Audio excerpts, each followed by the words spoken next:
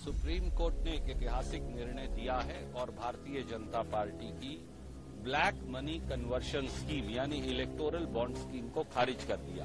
Congress party पहले दिन से ये मांग करती आ रही है। देश के अनेकों नागरिक और संगठन ये मांग करते आ रहे हैं कि इलेक्टोरल बॉन्ड स्कीम काले धन को सफ़ेद करने का गोरख धंधा है।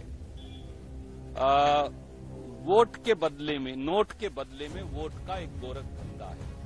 और उसे सिरे से खारिज कर दिया गया है। हम इस सुप्रीम कोर्ट के ऐतिहासिक निर्णय का स्वागत करते हैं। सवाल सीधा है, भारतीय जनता पार्टी को इस इलेक्टोरल बॉन्ड स्कीम से कितने हज़ार करोड़ रुपया मिला?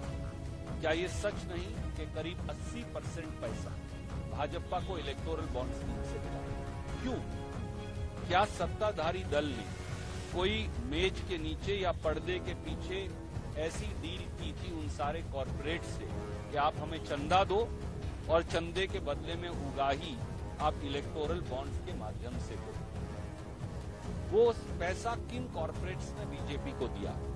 उन उन कॉरपोरेट्स को क्या फ़ायदा पहुँचा? सत्ता, सत्ताधारी दल भाजपा ने कौन से कौन से सरकारी एसेट उन कॉरपोरेट्स को उसके एवज में दिए? क्विट प्रो को यानी तुम मेरी आ, आ, कमर खुजलाओ मैं तुम्हारी कमर खुजलाऊ। वो क्या है? आ, सर लोगों को और देश को क्या क्या नुकसान हुआ? इन सारी बातों का जवाब देश के माननीय प्रधानमंत्री वित्त मंत्री और जेपी नड्डा साहब को देना चाहिए